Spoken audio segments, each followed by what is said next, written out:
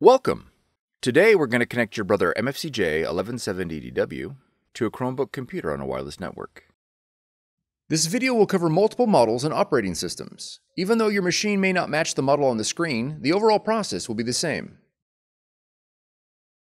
You will need to gather some information about your wireless network in order to connect your machine. You'll need to know the SSID or network name of your router or access point. And you'll need to know your network key or password. The default settings for your router or access point can be found on the equipment label. If your SSID or network key contain both uppercase and lowercase letters, be sure to record them, as both of these credentials are case sensitive. If you've set up a custom SSID and network password and cannot recall this information, please contact your router manufacturer. Setup cannot be accomplished without this information. If you're using a dual band router, make sure your Chromebook is connected to the 2.4 GHz band. If you're connected to the 5 GHz band, the Brother printer will not be discovered.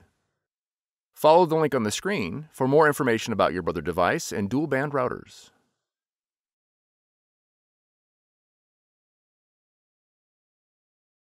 Begin by pressing the settings icon on the touchscreen. Then select the network option. Select WLAN from the option list. Select Find Wi-Fi Network. When prompted to enable WLAN, press Yes.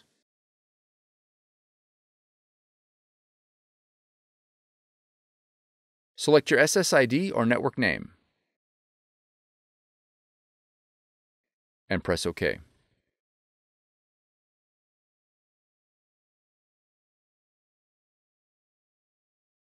Enter your password or network key using the touchscreen.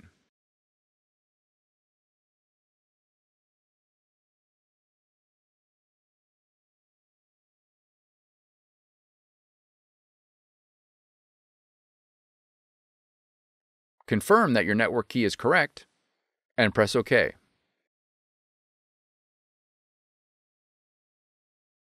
Once the wireless connection is made, press OK.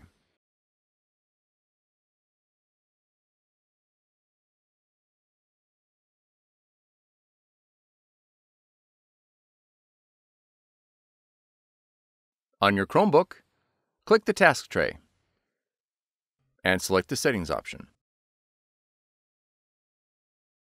Click Advanced and then click Printing. Now click on Printers. Select your Brother device and then click Add or Save. If your Brother device is not listed, you'll need to verify that it is connected to the same network as your Chromebook. Once your Brother device has been added, the setup is complete. For more tutorials, FAQs, and videos, visit us at www.brother-usa.com.